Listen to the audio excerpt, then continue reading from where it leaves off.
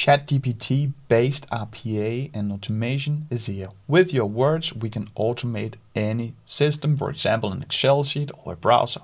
Let's try to do that together. So with our own words, we will solve a common use challenge for RPA developers. It's used in tests and job interviews. So we have an Excel sheet with uh, columns, first name, last name, down to email and phone number. For each one of these records, we want to fill them into a CRM system. In our case, it's on a website. I close this again and go to a browser. This is our CRM system or it mimics. It's a very unstable system. And here you can see first name is here, last name is here. And it's unstable by purpose because that's a challenge we often face as RPA developers. So each time I click submit, these fields are changing around the scene.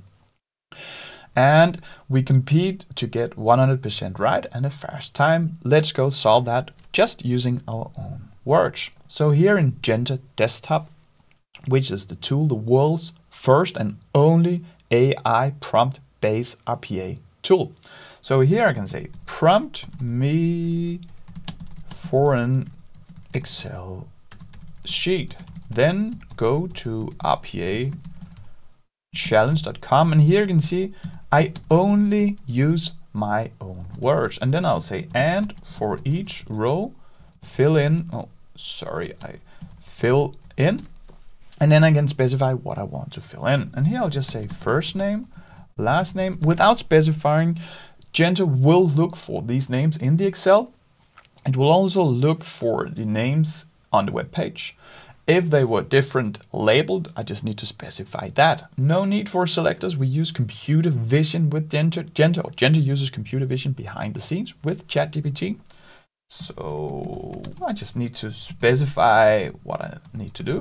And I think for me as an RPA developer, this will um, make a lot of business users come take my job, which is great because then they don't need to hire me as a consultant anymore. They can just do it themselves. So here I uh, have my prompt. I now click start Genta Automation will create the script behind the scenes. You can easily get that afterwards and even modify it. But you can also just stay with your words here. Now we're generating, it will take a few seconds and then it will start the automation. The automation will start by prompting us for the Excel sheet.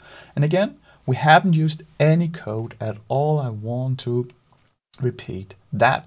So here we are generating that will be the thing that takes the longest, but you can use your computer or you can even grab a cup of coffee while this works. Now we are getting prompt for an Excel file. So here I click browse.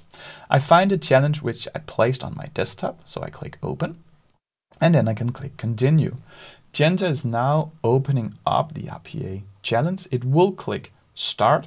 And again, it uses computer vision to target these fields. It's great because it's, it's easy to build. We can just uh, say click start, click submit, uh, fill in first name.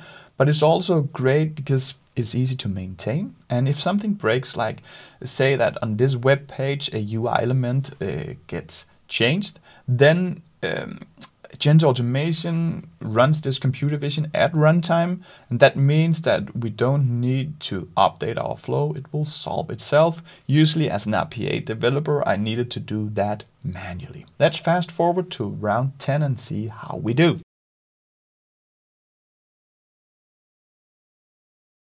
That's it, 100% and a time in 142 seconds. Really impressive. And remember, all we did was this prompt. If I go to advanced mode, I can also see the script here. That is the one that we created. We can easily fix this if we want to add things or uh, change anything.